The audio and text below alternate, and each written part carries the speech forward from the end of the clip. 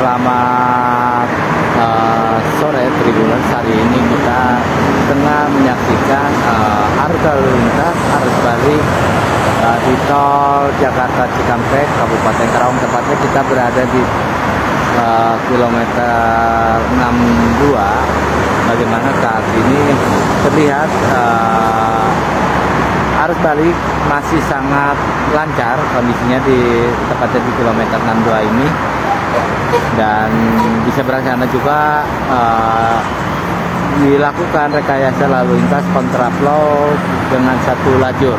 Kontraflow dilakukan di kurang lebih di kilometer 72 hingga kilometer 47. Sementara itu uh, kendaraan, laju kendaraan saat ini mencapai sekitar 70 km hingga 80 km per jam kendaraan-kendaraan yang melakukan arus balik.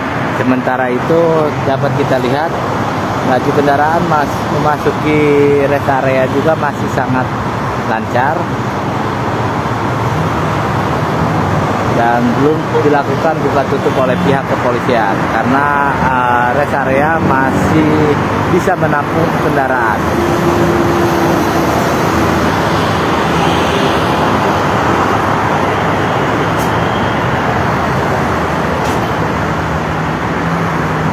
Ya, kendati demikian uh, terlihat bahwa arus kendaraan pada sore hari ini terlihat mas, uh, lancar dan sangat ramai dibandingkan tadi pada siang hari tadi.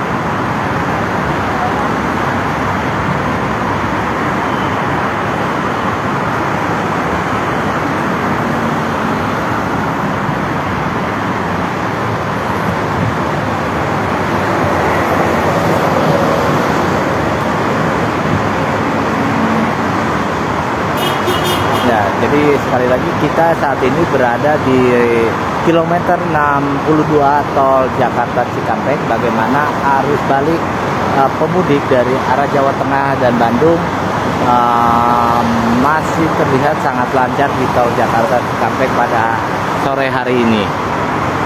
Tepatnya di kilometer 62 dan juga sekali lagi diinformasikan bahwa memang dilakukan uh, kontraflow yang dilakukan oleh pihak kepolisian dapat kita lihat kontraflow dilakukan di kilometer 72 hingga uh, kilometer 47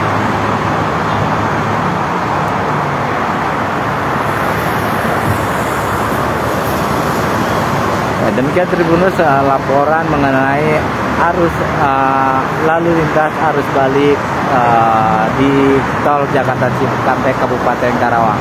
Cikuan Suandi melaporkan. Terima kasih sudah nonton. Jangan lupa like, subscribe, dan share ya.